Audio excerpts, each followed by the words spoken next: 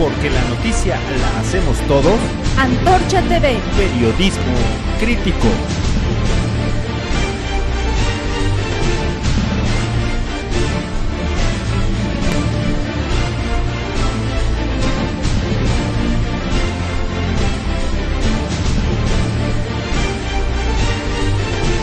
Antorcha TV. Periodismo crítico. Muy buenos días, es un gusto que acompañe este viernes 4 de mayo en una emisión más de Antorcha TV con información más importante.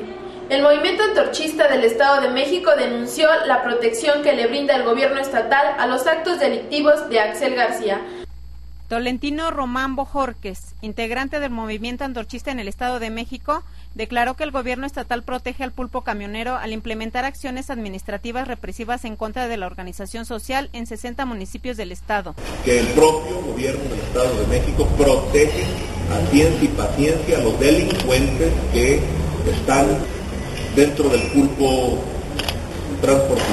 El problema se agrava porque el gobierno del Estado está tomando medidas de represión administrativa en contra del movimiento antorchista y en contra del ayuntamiento antorchista de Chimalhuacán, después o desde antes, días antes de la manifestación anterior. ¿En qué sentido? En el sentido de que muchas obras de electrificación, de agua potable, de caminos, de acciones de vivienda, muchísimas, insisto, Antorcha tiene presencia en 60 municipios del estado, se han paralizado, se han detenido. Y funcionarios como Efraín Rojas Dávila, subsecretario general de gobierno, ha dicho con todo cinismo que eso lo hacen en virtud de que nosotros no dejamos de insistir en el tema, del transporte. Como decimos nosotros, secuestran ese tipo de demandas lesionan a decenas de miles de mexicanos con ese tipo de, de acciones y por esa vía quieren eh, presionarnos, chantajearnos, ellos y chantajearnos para que dejemos esta causa, la causa del transporte. En conferencia de prensa, Román Bojorques señaló que el ayuntamiento de Chimalhuacán también sufre la política represiva del gobierno estatal. El gobierno del Estado le ha retirado 10 millones en marzo y 10 millones en abril de las participaciones federales para el pago de nómina. El dirigente social indicó que el próximo martes 8 de mayo, ante la negativa del gobierno estatal de resolver el problema del transporte y recrudecer las medidas represivas en contra de la organización social, 50.000 antorchistas se manifestarán en la ciudad de Toluca para pedirle al gobernador Erubiel Ávila Villegas su intervención.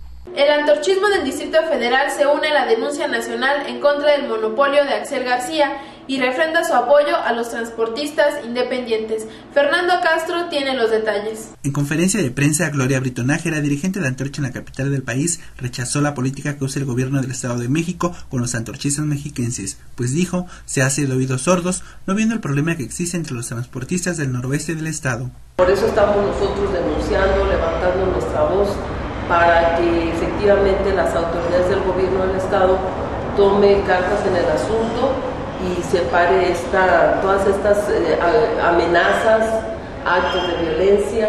La líder expuso que existen agresiones por parte del grupo encabezado por Axel García, pero que ninguno de los actos fueron castigados por la Comisión de los Derechos Humanos ni por ningún funcionario público. denuncias y nosotros le estamos exigiendo al gobierno del Estado que ponga un alto a esta ola de violencia que ha desatado pues, el grupo de, que encabeza Axel García.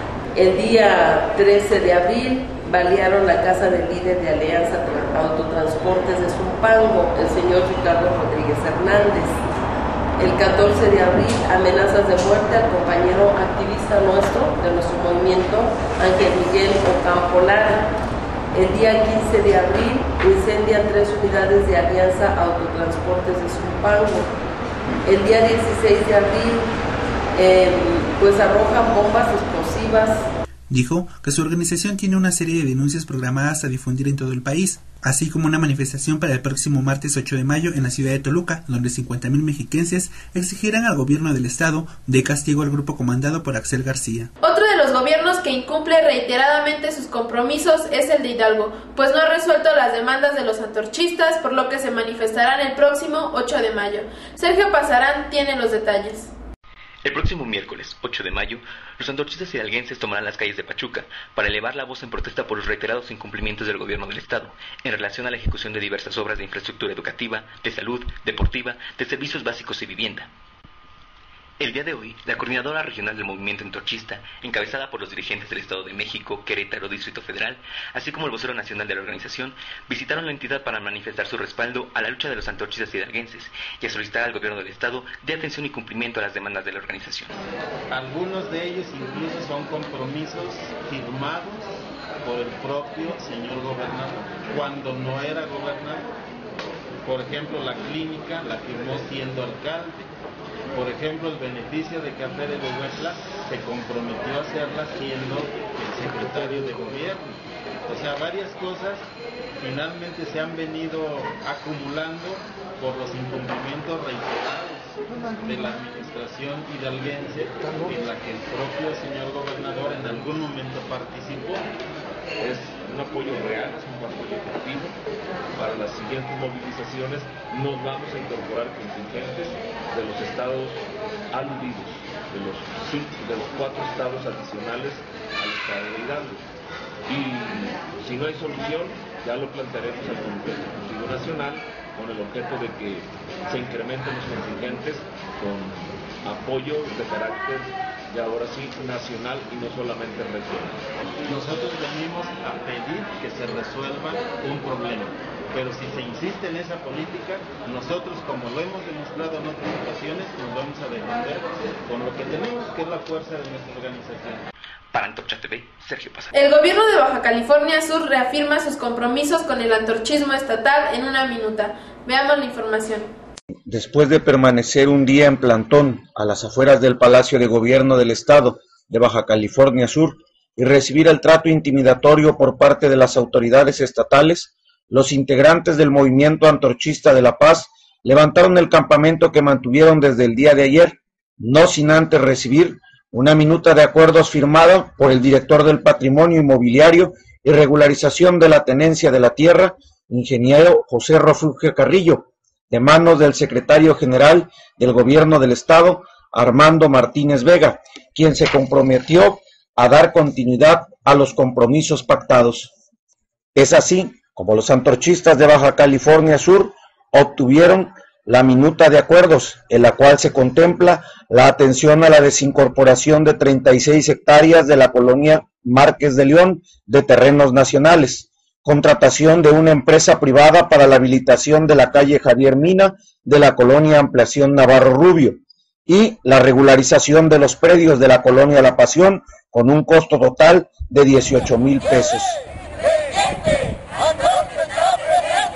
Y como todos los viernes, hoy le presentamos las notas más sobresalientes en la semana.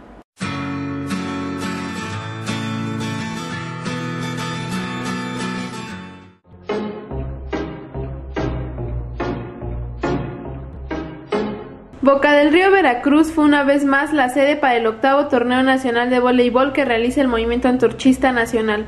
Este evento logró reunir a 97 equipos de distintos puntos de la República que buscaron obtener un primer lugar dentro de la competencia y así poner en alto a su estado. El primer lugar es para el Estado de México que acumuló 55 puntos, el segundo para los veracruzanos con 50 y el tercero Tamaulipas y Quintana Roo con 20.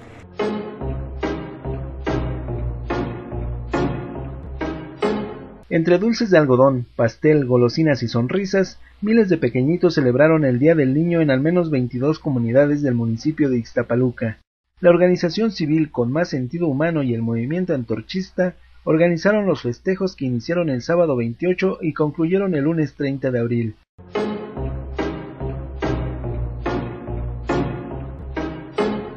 El movimiento antorchista de Tabasco y la Federación Nacional de Estudiantes Revolucionarios Rafael Ramírez Fener unen sus fuerzas para luchar por el reconocimiento de la preparatoria de la zona indígena Chol de Macuspana y la construcción de otra en el municipio de Centla.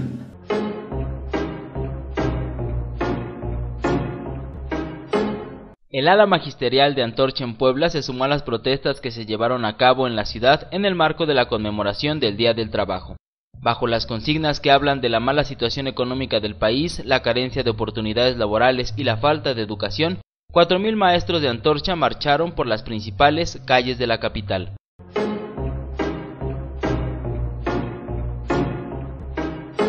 Habitantes de la delegación Gustavo Madero se manifestaron por las principales calles de la zona para exigir al delegado interino Juan Calvo cumpla con las peticiones que el pasado administrador de la dependencia, Víctor Hugo Lobo Román, se comprometió a resolver desde el inicio de su administración. Esto fue todo por hoy, yo le espero el próximo lunes con más información y le deseo que pase buen día. Antorcha TV. Periodismo crítico.